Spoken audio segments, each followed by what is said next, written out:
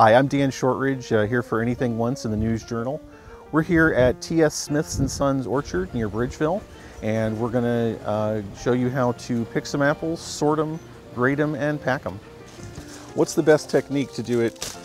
One hand, an apple in each hand, or to do it? It depends how the apples uh, come at you, you know, if they're in clusters. If there's a cluster of three, I don't want, sometimes when you pick one, the other two are fall. So you, Okay. you don't want that. Keep it there.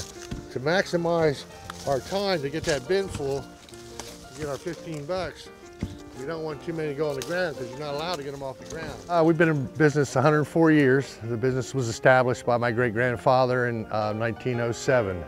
Uh, myself and my two brothers, Tom and Matt, are the fourth generation to work the farm.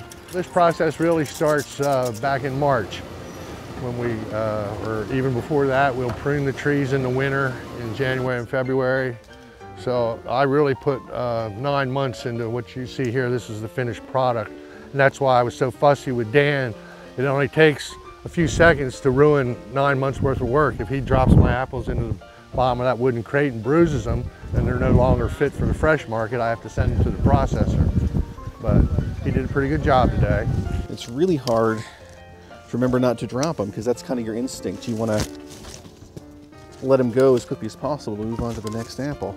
Each crate that holds 18 bushels of apples, approximately 750 pounds. Um, and they're picked in the three quarter bushel sack there that Dan was using. Uh, For Dan, it would take about half a day to fill that, but for one of my, my regular pickers, they could do it about an hour. I'm just tending God's garden, so to speak. Uh, and and um, it's my passion, it's been my passion all my life.